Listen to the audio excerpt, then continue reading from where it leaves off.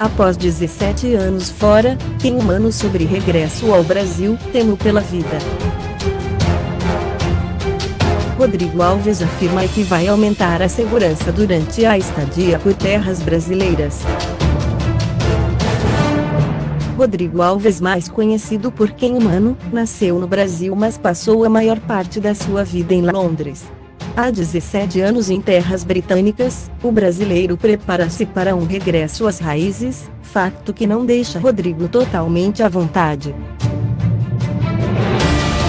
Em entrevista ao Daily Mail, o socialite, de 34 anos, confessou que tem medo de regressar ao país natal e vai apostar em reforçar a sua segurança.